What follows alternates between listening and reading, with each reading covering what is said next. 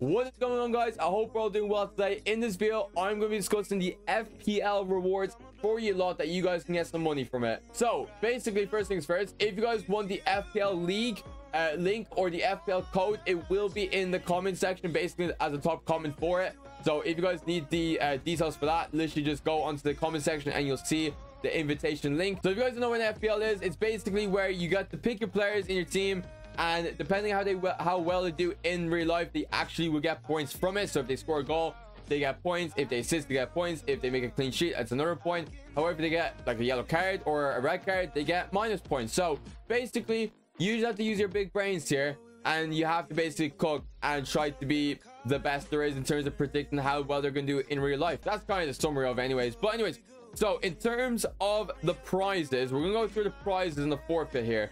So in terms of prizes wise, if you finish third in the in our own league, by the way, in the FPL, you will get yourselves 30 quid as a gift card that you can use on whatever really thing you want on it in terms of games or anything like that.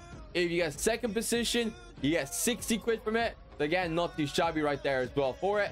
And if you finish 100, uh, 100 if you finish the first position, you will get yourselves a whopping 150 quid worth of a gift card. So so not too bad, eh? That's all the prizes there for top three. Now, obviously, there's gonna be a forfeit for my own self here if I did if I end up flopping so. So if I finish roughly where the relegation relegation zone is, it depends how many people's in the league. I'll be able to give a give a full answer on the number, like the, the bottom, let's say bottom three or bottom five or whatever it is. Wherever, if I do finish in that zone, right? If I finish like bottom two, for example, right?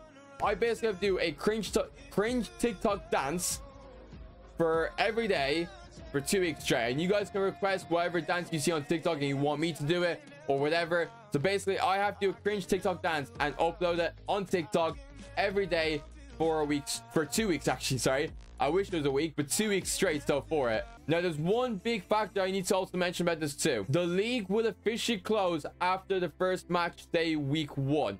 So if you try to join in after the third match day week or the 12th or whatever it is, it's too late for yourself to try get into this, right? This is basically for the community. So obviously, I I would really appreciate if you just don't share it to your friends that doesn't know about me because they're not going to really get. Uh, I'm not going to really involve them in this, to be honest. Now, so basically, it comes into that. Obviously, this is really for the community. So obviously, reward you guys for your support.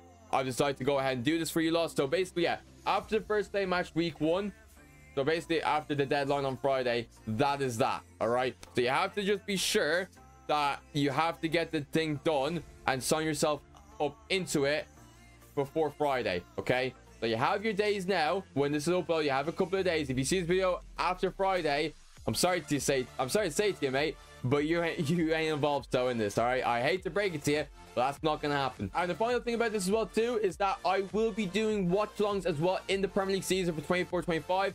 So if you guys want to watch the watch longs for the Chelsea games, which I most likely will be raging in them, or you know some other big games that's gonna be playing too, are very important games. You will be catching me there on the Amer HD Football channel. So yeah, that's it. I hope you guys enjoyed the video. Make sure you drop a like on the video, subscribe as well if you are brand new and you're watching this for the very first time. And I will catch you guys all in the next one.